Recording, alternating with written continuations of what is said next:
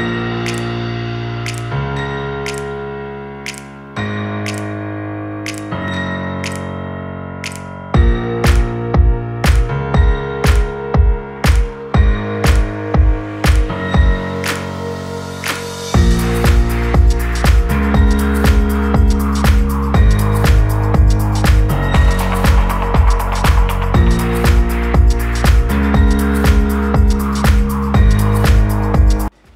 Todd here with the devotional for November 9th.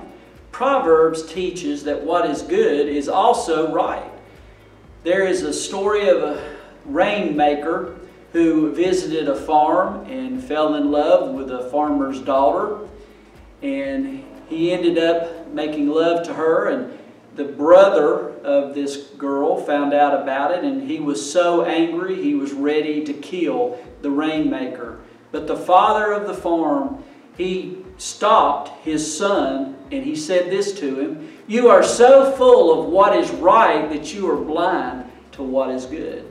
There are situational thinkers who tell us that what is right is not necessarily what is good, but that is not what scriptures teach us. As a matter of fact, in the book of Proverbs, we find out if it is right, it is good. God is good. We need to follow Him. We need to follow His Word. We need to obey Him. There is no such thing as our good God not being right, and as our right God not being good.